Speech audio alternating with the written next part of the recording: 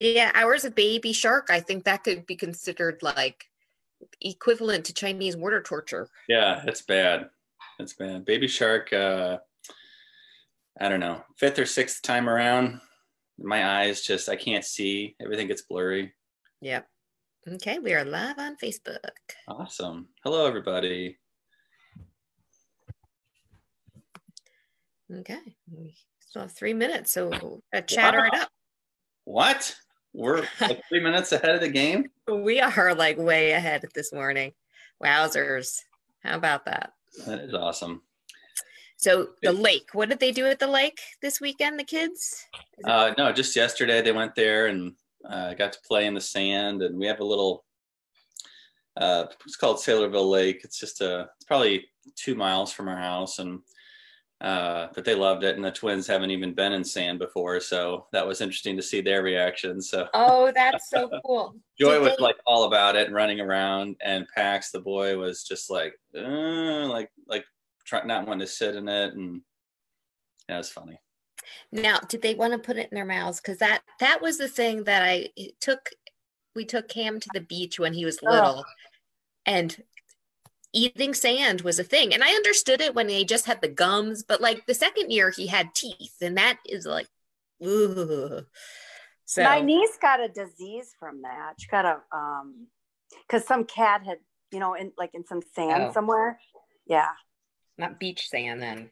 Well, I, if you go to like a local like park or something and it's a sandbox, that could be problems. Oh, and Dee is on with us. Hi, Dee. Listen to our sand talk. she has grandchildren. Maybe she has some sand stories to share. Kids putting sand in their mouths and doing all sorts of things in the sand. Oh, and we got three people on Facebook so far. Hello, three people. Each of you are unique and loved by God. Yes. We're glad to have you here. Yep. We're glad to be on early, ready to go. Is the tape working? Like I taped my smile back, so it's always there. Like I'm happy. early in the morning. I'm so excited.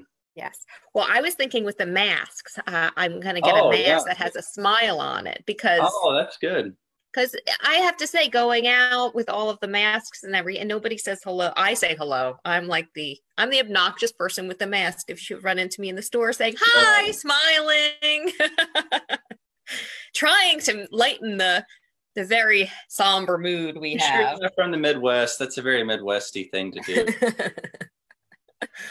nope. When I go to New York and I say hi to people, they're like, "What do you want?" Well, I am in New Jersey, in the suburbs of New Jersey, so it's a little, we're a little lighter out here. Uh, but, what are you okay. looking at? Huh? okay, it's nine o'clock. All right. Give it a pause and then we'll uh, get going. Good morning. I'm Deacon Matt Halbach, Director of Catechesis for William H. Sadlier and a deacon in the Diocese of Des Moines, Iowa. So glad to be with you here on Tuesday for our morning prayer series. I want to thank everyone who joins us live, uh, who takes time out of their mornings to pray with us. Thank you. God bless you.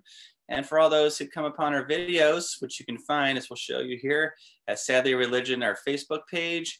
You can also find us at Sadlier Religion slash morning prayers.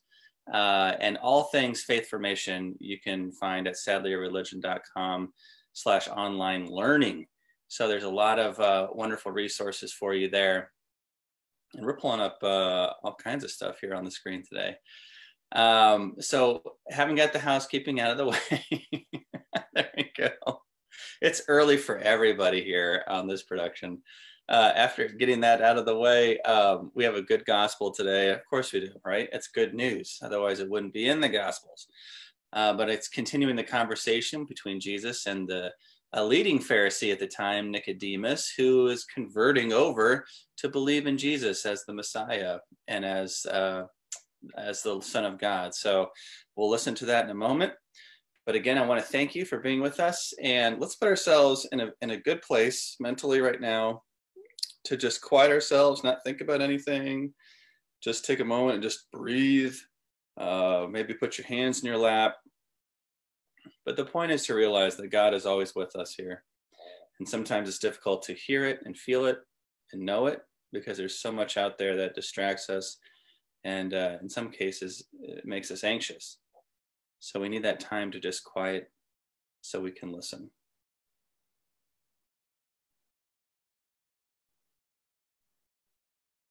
So we begin in the name of the Father and the Son and the Holy Spirit. Amen. A reading from the Holy Gospel according to John. Glory to you, Lord. Jesus said to Nicodemus, You must be born from above. The wind blows where it will, and you can hear the sound it makes, but you don't know where it comes from or where it goes. So it is with everyone born of the Spirit. Nicodemus answered and said to him, How can this happen?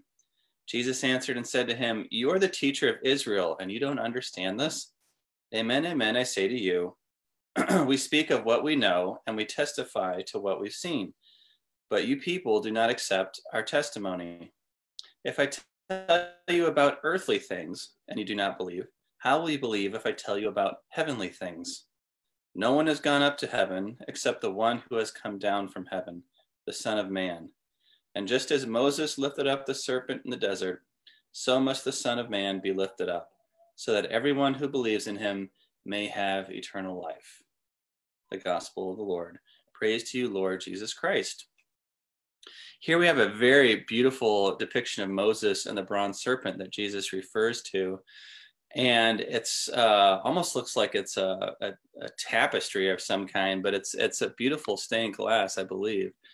And we see the serpent there we see moses and, the, we see the people of israel and the whole idea there and jesus refers to this is that in that scripture from exodus with moses and the serpent uh, the people of israel were saved as long as they continued to look on the serpent but when they didn't uh, then they were uh, afflicted and they were um, they were made sick and it was the lesson being when we take our eyes off of the gifts of God, in this case, we take our eyes off of Jesus, the greatest gift uh, of God, then we are open ourselves up to all sorts of potential harm and potential affliction, and and to put it in psychological terms, negativity. Uh, and that's what Jesus is referring to today. Uh, he's referring to the fact that he, he needs to die. That's part of his mission. So this reading takes us back before Easter Okay, this is Jesus who has not been raised from the dead. Uh, this comes from the early part of John's gospel for the daily reading. But he's telling Nicodemus, like that serpent that Moses had, I am that person that everyone should keep their minds and hearts fixed fixed on. And I will be raised up like that serpent was, so everyone can see me. And those who keep their eyes on me will live, no matter what happens. Not even death will destroy them. They will rise from that as well.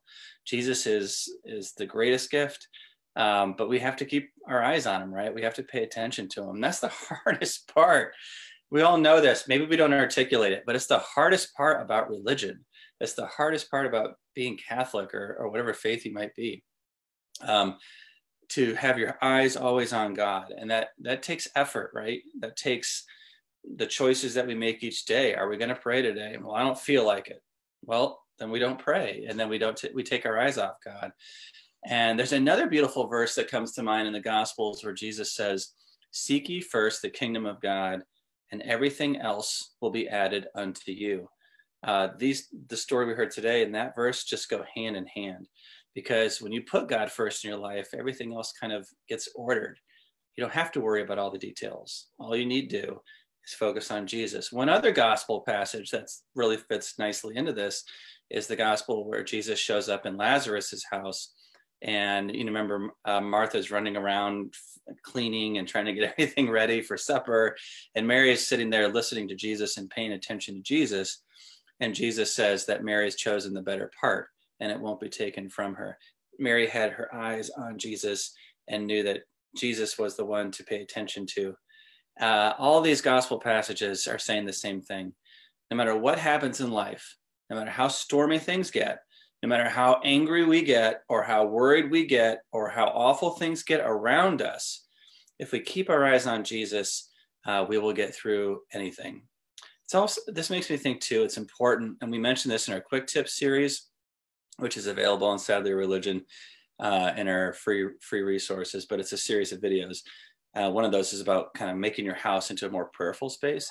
It's so important to have religious iconography around you, or crosses, crucifixes, rosaries, holy water, whatever it is. But those little things that remind you to put your eyes on Jesus. So I hope uh, that'll be our prayer for today and our challenge for today. Uh, help us keep our eyes on you, Lord. And when we start to take them away and start navel gazing, as I call it, uh, help lift up our chin and get back to you, who uh, is the source of all goodness, life, and happiness. So now we get to that part of our show uh, where we send in some live petitions. We use the chat box. If you've not been with us before on our Zoom meeting, you can use the chat box there and there's a little bit of a lag so then i usually blah blah blah blah blah and, and fill in the space um, but i ha- have more than blah blah right now. I'd like to just pray in a very special way uh, for my sister-in-law teresa. She just had triplets uh, that's right triplets and uh, i think this is kids i think she has eight children now. It's incredible. But she had complications afterwards and uh, two of the two of the kids are in the nicu and she's in uh, had to go back in because she had I've never heard of this. Uh, she had post um, you know after birth preeclampsia. Now, preeclampsia is something you usually have before you give birth, and it and it's uh, really uh, puts pressure on the heart, and your blood pressure just skyrockets.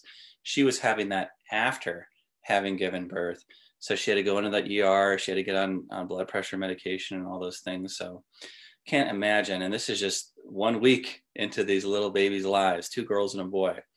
Um, so we pray for her and her family and and for peace and that they all keep their eyes on Jesus. My goodness, uh, what a difficult time. So if you have a, a, prayer petition, please post it in the chat box. And uh, after that, we'll look at our virtual prayer wall and pray for all those people that uh, are asking for us to pray.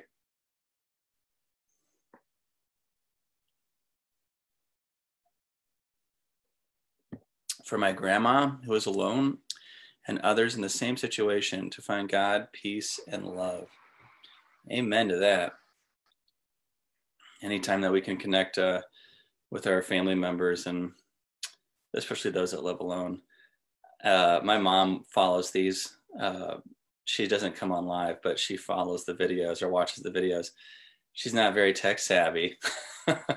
so uh, it's funny. So we worked it out to where she can be on with my brother and I and see us, but she can't get her camera to work so that we can see her. So that's how we we do our video chats.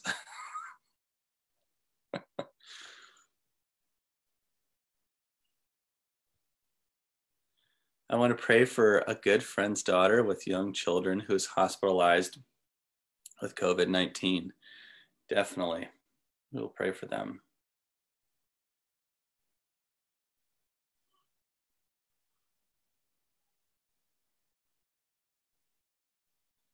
I want to pray since thinking about Teresa and her triplets. I want to pray for all new moms and all those about to give birth and just the difficulties and the fears that surround a normal uh, birth, but now with the fear of COVID and and being alone in the hospital and um, spouses can't be around, family can't be around, uh, just for extra courage.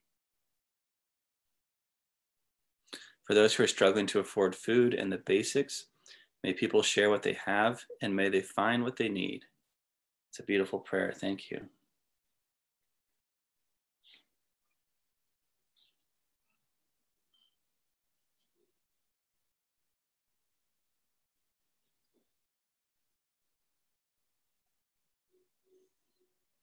So we'll move now to our virtual prayer wall.